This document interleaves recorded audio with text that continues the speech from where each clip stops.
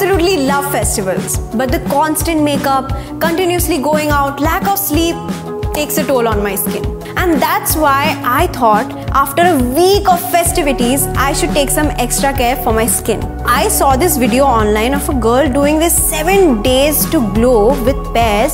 So I was like, I have to try this post Diwali. That's what we're doing today. See you on the other side. See, the thing that I'm liking about Pears is that it has nothing to hide. You can literally see through it. Having done so much skincare, I do know that the pure glycerin that Pears has is great for pretty much every skin type. And you know, my mom told me I can use it all year round. Ta-da! So it's the end of the week. Can you see the glow on my face? And what is great is this non-chip chip soft skin wali feeling. I absolutely am in love with this glow. See, sometimes you should believe some things you see on Instagram. so, all you beautiful girls out there, you should definitely try this 7 Days to Glow challenge with Pears. Tell me about your experience in the comments.